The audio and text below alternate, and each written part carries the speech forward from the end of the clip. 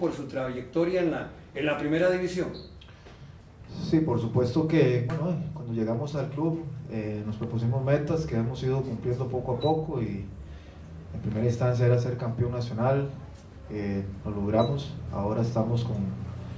con dos metas muy claras en este semestre, que es pelear por el campeonato de Costa Rica una vez más y,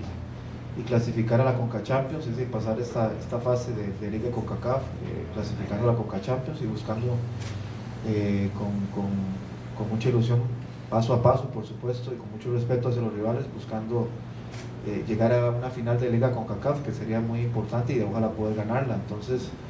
sí, estamos muy, muy esperanzados, ilusionados y sabemos de, de una, la, gran responsabilidad que tenemos y, para eso se trabaja, ¿no? para, para estar en estos momentos y, aprovecharlos al máximo. Bueno, es un sueño eh, hecho realidad. Mm, las dos cosas que